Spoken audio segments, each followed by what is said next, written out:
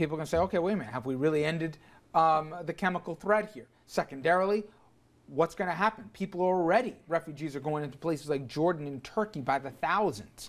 Um, what all of a sudden happens if you have a humanitarian crisis or people going to countries that don't want them?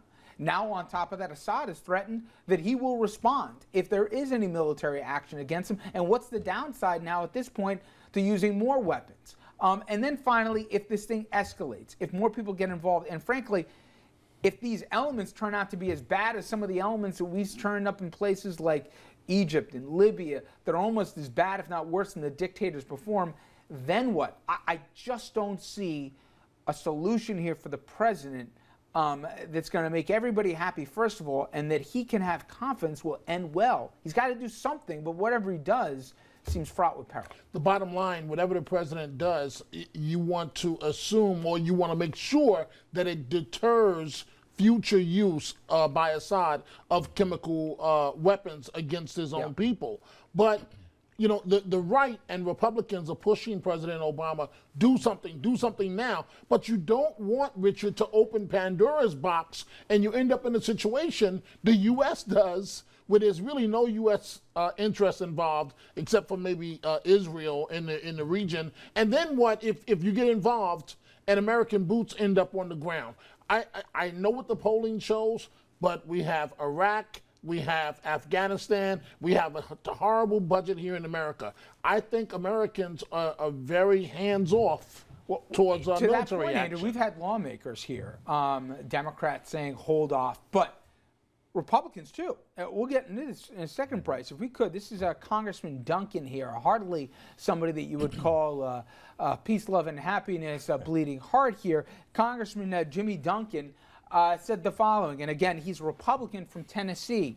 We don't need to be getting involved in a civil war in Syria. We don't have a vital national interest in. We'll talk about national interest next segment. But he goes on to say, we seemingly are almost in a state of permanent war. I don't think our people want us to be in that state. I don't think we can afford it.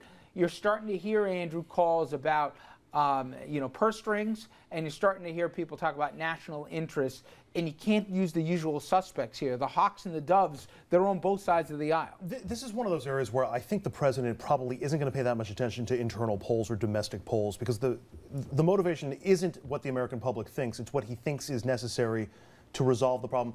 Dominic mentioned stopping Assad from using chemical weapons going forward, but there's another factor. Uh, chemical weapons are a weapon of mass destruction.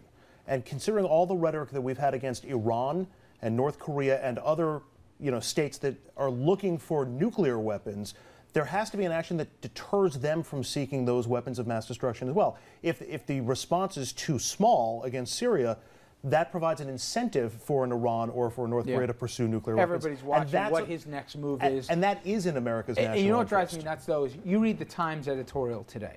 And, and, they said basically what other people have said. And I love Richard Brodsky. He was a guest on the program. But, well, we can't move until we know what the consequence is going to be. By definition, that's an impossible standard in a war. You don't know what will happen. And the president's the one guy who doesn't have the option to say, well, until I get more here, I can't really do anything. He has to act, and the world is looking at him to take action. But short of knowing what the outcome is going to be, you can't know we, that. we certainly can we can at least establish what our goal is in all of this. If the goal is not regime change, because we're terrified of what might replace Assad. If the attack on Syria is too severe, it might tip the balance towards the rebels and topple the Assad regime anyway, and then you wind up with regime change that we don't particularly and Brandon, want. that's where it all comes down, which for me is what is the end game? They already telegraphed mm-hmm. it that we don't want uh, basically to, to have another Iraq or Afghanistan. We're going to select the. Didn't work out too well. Okay, exactly. and we also look what happened in Egypt and say, careful what you wish for. Morsi was a hot mess. We don't want to go through that all over again but they got to do something. It's the most bizarre, you know, spot you're in. They don't want to do too much, as Andrew says, to tip the balance so that they're seen as picking a winner, but they can't do too little because everyone's going to say, what was the point? Well, you know, Richard, I think it's interesting. I actually agree with Dominic in that uh, the president has to be very careful Elizabeth, that he doesn't, yeah. the first time, the first time, the president has to be very careful that he doesn't bite off too much uh, than he can actually afford to chew.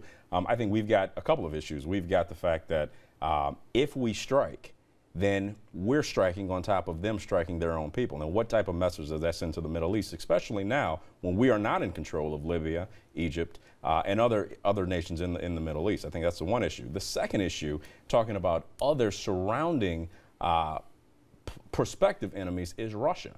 Russia is a major ally of Syria, and I think we don't want to ignite uh, Russia or North Korea at a time like this when our budget nationally uh, is something that we can't afford to, to, put troops on the ground. Saying. Every point you make, I think, is legitimate. But if we put ourselves in a position here where people call our bluff one too many times, what is the message to the rest of these other Middle Eastern despots? You call the U.S.'s bluff, and we're afraid of Russia at this point. We're afraid of, I mean, I grant you our options, mm-hmm. while we have a bunch of them, none of them are great sitting here and doing nothing when we said we won't tolerate human genocide and it's played out in living technicolor and then we say never mind? It's not that we don't do anything, but I think when you're talking about striking or, you know, the airstrikes, I think is probably the best solution at this point. Um, but we have to do something. I think the president needs to speak on it. Uh, I don't think the president has been as vocal in, in terms of sound talking big on the issue. But when you're talking about putting troops on the ground or, or even airstrikes, that's I happen, think but, that's that's but you taking hear it a little the McCain's of the world saying, and I don't want to hear some little strikes right. from the air. We need to have meaningful action. Uh, it, it's you need a scorecard to keep in track of, of who's for what now. And no matter what, as I said before, threading the needle for this president with some action that's both meaningful but yet not too much. Exactly. My gosh. All right. Um, we are going to jump to a break, but I'll remind everybody, as always, you're part of our conversation here. So head online Go to Facebook and Twitter and sound off. What do you think? You saw the poll numbers here, but as the facts unfold, is your opinion changing? Should the U.S. get involved in Syria? And when do we know that it is time to intervene for the sake of humanitarianism? We're going to talk about that after this break here, about what is our line as a nation here. We're the last superpower in the world. When do we say, no, this is our fight? We'll get into that after this.